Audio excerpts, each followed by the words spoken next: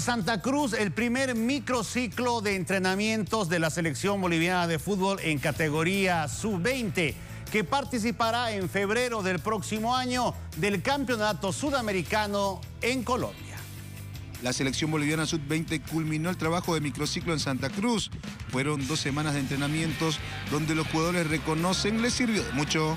Muchachos, la verdad están dando lo mejor de ellos, están teniendo carácter, están teniendo actitud, personalidad, que es lo importante que, hay que tener aquí para quedarse. La próxima concentración podría darse los primeros días del próximo mes, toda vez que la sub-20 jugará un cuadrangular en Brasil del 9 al 19 de diciembre, con la participación de Perú, Chile y la selección local. Buen grupo, ¿no? Tengo la, la, la felicidad de jugar con compañeros ¿no? que ya han debutado en primera, están en el equipo de primera, como Jairo.